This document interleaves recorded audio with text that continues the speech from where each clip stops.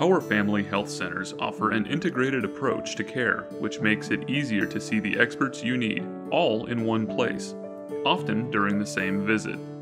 What does that mean to you? Integrated means convenient care. Say you have back pain.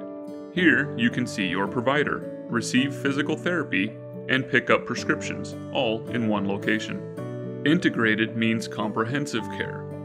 If you have a chronic medical condition, like diabetes, you can see your provider and a certified diabetic educator during the same visit. You can also be paired with a health coach who will help you achieve your goals, such as making healthy lifestyle changes and even reducing your need for insulin. Integrated means compassionate care.